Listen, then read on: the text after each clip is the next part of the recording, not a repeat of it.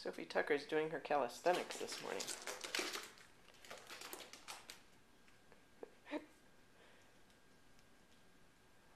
Sophie Tucker, where are you going? You little fat ass, come back here.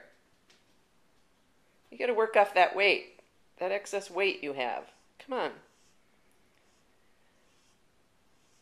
She's worn out. She's been doing this for like three and a half seconds, and she's worn out. Little chub girl. Come on, Sophie. Move. she's done. Look at little Sophie Tucker. She's just done. Oh, she's getting interested. she's finished. Okay, I've had my exercise. I'm going to go eat now.